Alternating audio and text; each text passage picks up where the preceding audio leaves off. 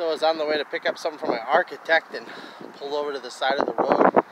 It's like a cool rainbow just kind of enveloping the the mountain there. Such a cool picture.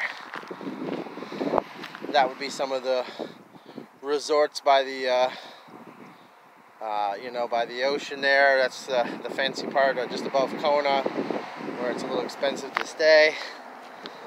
Looks like there's a little beach down here.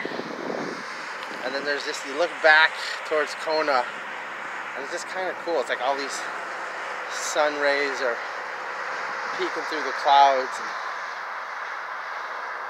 and making this cool, cool effect. Uh, just a beautiful day. A little warmer over here than it is in Hilo. Uh, over here picking up uh, some plans from my architect and a, and a uh, title for a vehicle. So what a beautiful day. Actually, I also got to go look at some real estate for a client. So yeah, and I'm actually on this little bit of a, I don't know, that's my car down there. I'm kind of on a little, just climbed up this rock real quick.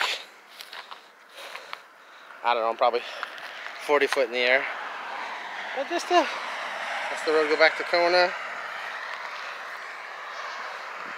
And that's the heading towards the resort. And that would be kind of Waimea over that way. Where the rainbow is at. But yeah, another beautiful day in paradise.